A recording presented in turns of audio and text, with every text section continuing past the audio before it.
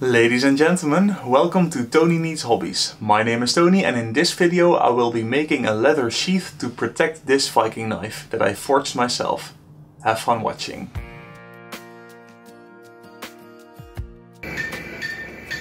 Like I mentioned, I made this knife myself, so here is some footage of me forging it.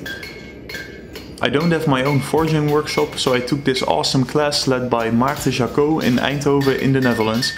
You can follow him on YouTube as well, so I posted a link in the description box, be sure to check it out. Ever since watching the movie Pirates of the Caribbean, forging has been on my mind. Fueled by Alec Steele's enthusiasm, I decided that it was time to take on Maarten Jacquot's class and learn how to forge a Viking knife.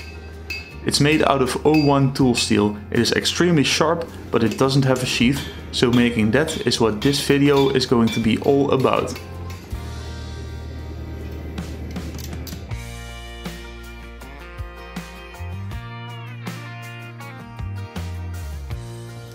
This sheath consists out of three parts, the main part, the belt loop and the welt. The first step is to trace the shape of the knife on some paper. I do this by folding a sheet of paper, putting the knife between it with the spine against the fold, then I press the paper around the knife to get the shape transferred to the piece of paper. Then I trace it with a pencil and add 2 centimeters or 3 quarters of an inch. After that I cut out the shape with a pair of scissors.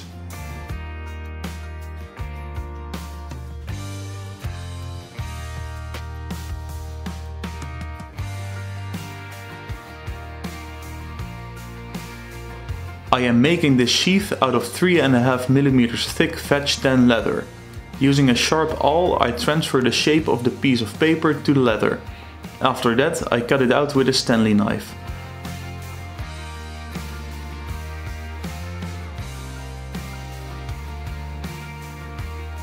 I also cut out a 25mm or an inch wide strip to make the belt loop out of.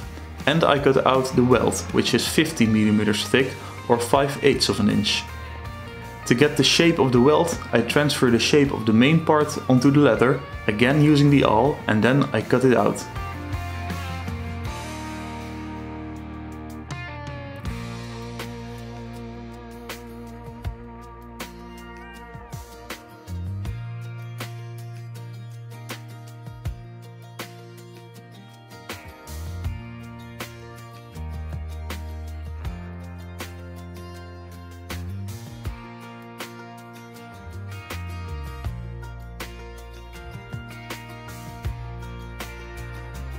Now that I have all the parts cut out, I break the edges using an edge beveler.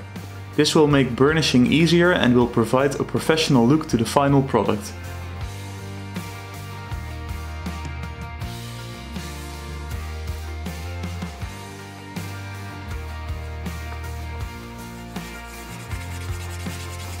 Using some water and the burnishing tool, I burnish the edges of the belt loop.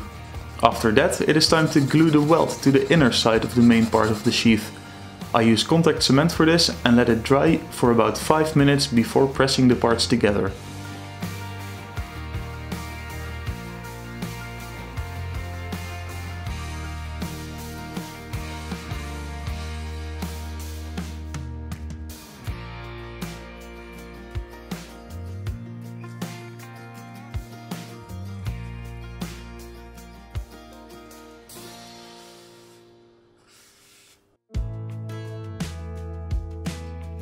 With hole punches I first prepare the belt loop for stitching onto the sheath.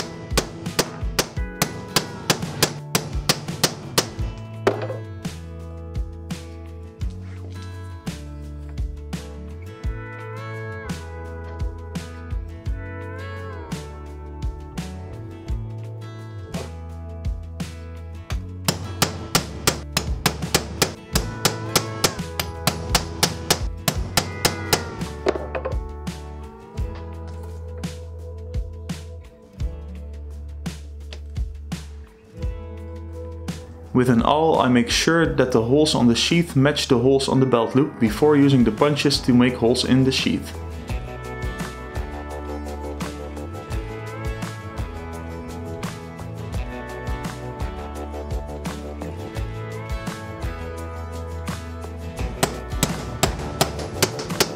Because I don't have all these professional leatherworking tools and I want to show you that you actually don't need many of those to begin with, I use a 10mm wrench to press the stitching groove into the leather, after which I punch the stitching holes.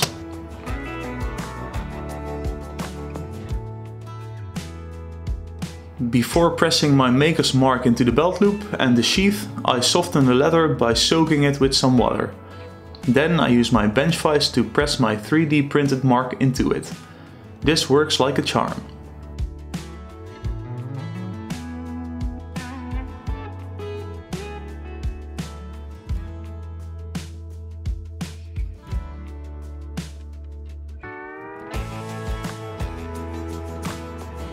I only have one color of dye, which is dark brown.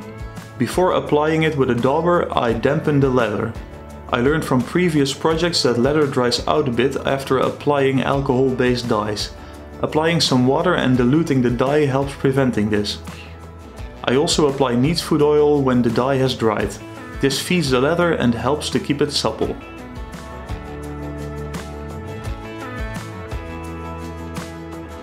The dye has fully dried and I applied tons of neatsfoot oil in an attempt to keep this leather supple. As you can see it's very flexible so that worked out great.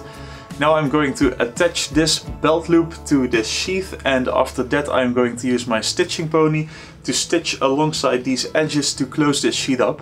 If you want to find out how I made my stitching pony, hit the link suggestion at the top right of your screen. To get a better bond between the parts before gluing, I make scratches in the leather where the glue will go. Then I apply contact cement, wait for it to dry, press the parts together and stitch it up using my stitching pony. The belt loop stitching holes need to be aligned with the holes of the sheath. I use two needles for this purpose, then I clamp it in my stitching pony and start stitching.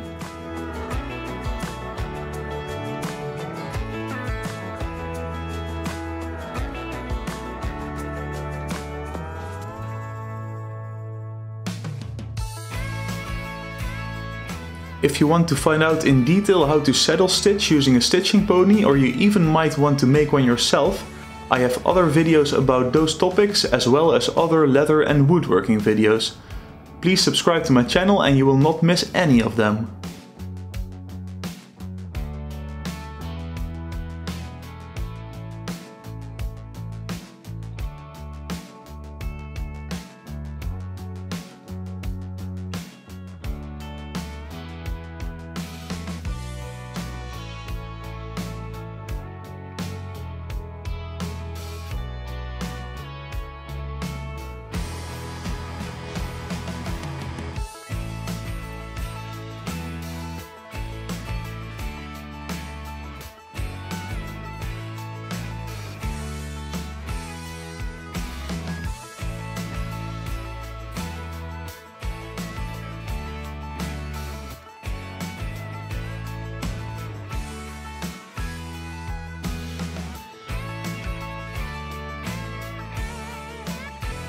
You just saw me attaching the belt loop to the sheath. The sheath is still not closed, so I will repeat the whole process again, but this time to close the sheath by gluing and stitching. Again, I am going to scuff the leather first, so that the glue will leave a tight bond. I let the contact cement dry for 5 minutes, press the top and bottom together with the punched holes aligned as good as possible for easy stitching, and after that I clamp the project in the stitching pony and do some more saddle stitching.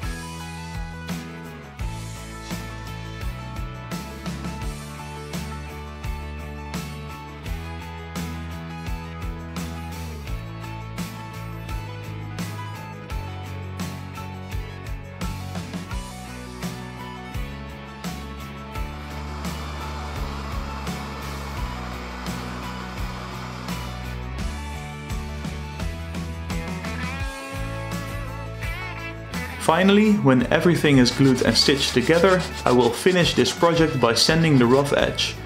Then, using some water and the burnishing tool, I make the stitched edge smooth and shiny. Then I apply a generous amount of beeswax based leather conditioner to seal and feed the leather and this sheath is ready to be used.